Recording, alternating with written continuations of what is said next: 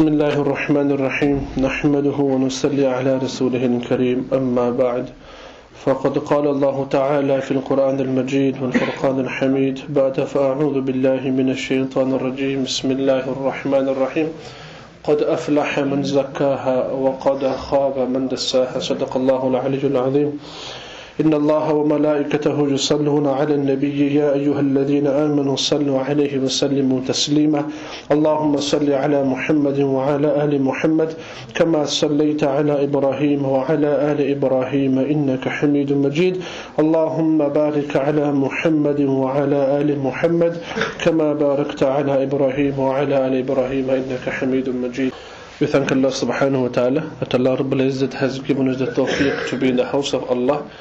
Indeed, this blessing of sitting in the house of Allah, it is a great fadl of Allah. We should thank Allah for this great ni'mat and make shukr upon this. Allah Rabbul Izzat will grant us tawfiq more and more inshaAllah. The more we try to value these such gatherings uh, in which the words of Allah and the words of Rasulullah wasallam spoke about, it will make our afterlife much better inshallah. And this is what we need. Who knows through which good deed our sins are forgiven. And Allah Ta'ala will grant us Jannah inshallah one day. Who knows which gathering it will be the means of us getting closer to Allah subhanahu wa ta'ala. So we should ask Allah in our hearts even now to Allah give me tawfiq to sit in more and more majalis, bayans durus that take place in the house of Allah inshallah. Allah will grant us tawfiq. The ayat which I have read, قَدْ أَفْلَحَ مَنْ زَكَّاهَا وَقَدْ خَابَ مَنْ دَسَّاهَا It talks about tazkiyat nafs. Nafs it has to be purified, has to be cleaned, has to be taken care of from all the evils and the vials and all the filth that builds up inside which leads it towards disobedience of Allah. Hazrat Maulana Salim Dhorat Sahib, Damat Barakatuhum, here mentions by saying the objective of tazkiyah or purification is to acquire abadiyat.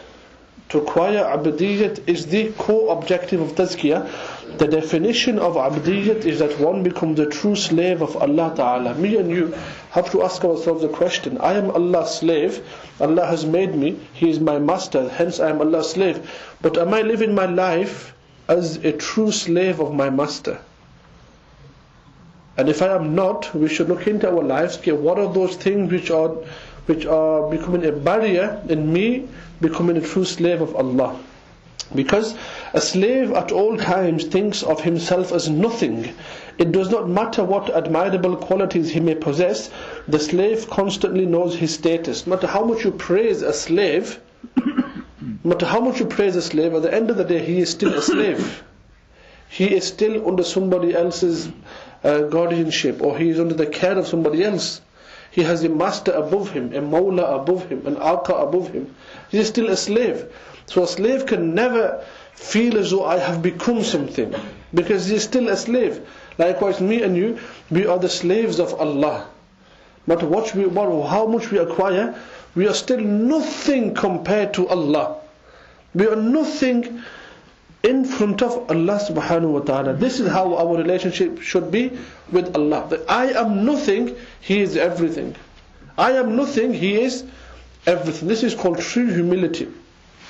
One of we should all submit to Allah, we should attribute all goodness to Allah and know that everything that we have is from Allah and belongs to Allah alone.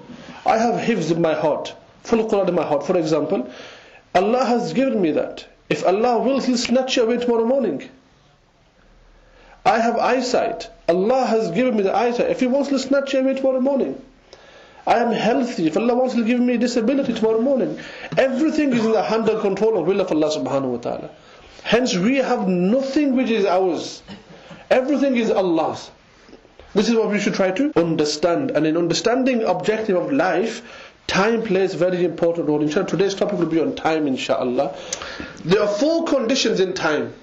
Number one, ni'mat. Number two, musibat. Number three, ta'at. And number four, ma'asiyat. Four conditions. Every single second of my life and your life, all of us sitting here listening are going through four conditions, either one of these four. Ni'mat basically means a bounty, we're in a bounty of Allah, or musibat, we're in a calamity from Allah, or ita'at, we're in obedience to Allah, or ma'asit, we are disobeying Allah. There is no fifth condition.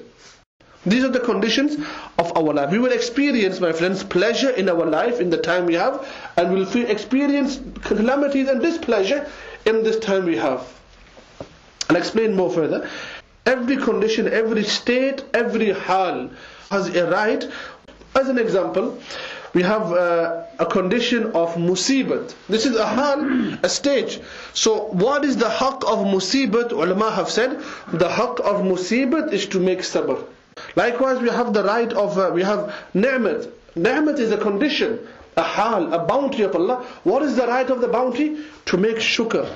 So sabr and shukr, these are two great uh, uh, a'mal which makes a person go to Jannat. But overall, every stage of our life we are undergoing some condition. To make it more easy, ulama have said, in a nutshell, that there are two rights upon every insan, حقوق ibadat and حقوق awqat. The time has a haqq and worship has a haqq. But the difference between the two is, in the haqq of ibadat you can make qada. but in the haqq of awqat and time, there is no qada. Time is gone, it's gone. If I miss my fajr today, I woke up with dhuhr time, I could pray my fajr with dhuhr, qada. If I miss my fasting in Ramadan due to illness, I could make qada of them else time, in another time. Whereas time, you can't do the same with time. When a blessing was sent to me, I didn't make shukr, I can't make qada for it because I will now be in a different time. So you can't make qada of time. Once time has gone, we cannot bring time back. Uh, a saying uh, in English, time is gold. Use it, don't abuse it. But in Islam, time isn't gold. Time is more than gold. A few things, my friends, we have to realize. Number one, time is the measure of life. It is a trust from Allah. It is amanat. It is a gift from Khaliq. Use it properly because this time will determine mine and your outcome for eternity in the hereafter. Number two, we are born in time, we live in time, we die in time. What we whatever we do with time is what we do with our lives. Whatever, however I pass my time is how I pass my life. Number three, regarding time, we should learn to understand to race against each other in acquiring the best deeds in this time we have. Number four, ulama have said, learn from the time you have wasted to improve my next year inshallah. Learn from the time wasted. Also look for special and superior time. We know special time is before Maghrib. Special time is after Fajr till Ishraq. Special time is Tahajjud. Special time the day of Jummah or the special nights during the year. Look for these special allocated times and work harder in these times. Ulama have also said, plan and organize your time.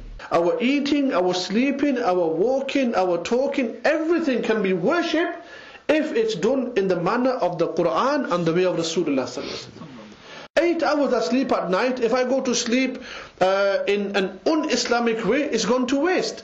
But if I go sleep Islamically, that eight hours has been written down as worship. This is also ibadat. So we have to learn how to make our time valuable. Soon time will be up and all of us will leave this physical world and standing in front of Allah subhanahu wa ta'ala.